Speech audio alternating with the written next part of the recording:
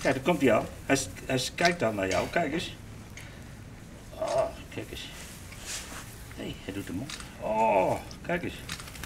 Ja, zo blij is hij dat hij jou ziet. Dit lammetje is blij en zal goed worden verzorgd door de moeder. Maar dat geldt niet voor elk lammetje.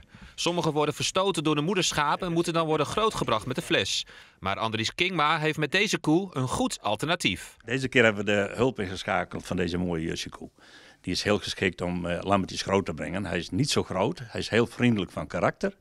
En eh, lammetjes kunnen ook heel goed bij de spenen van de koe. Vorige week eh, hadden we te maken met een explosie van lammetjes. Heel veel meerlingen, soms drielingen, soms vierlingen. Ja, en dan is, daar waren alle moeders nog niet op berekend met het gift voor de melk.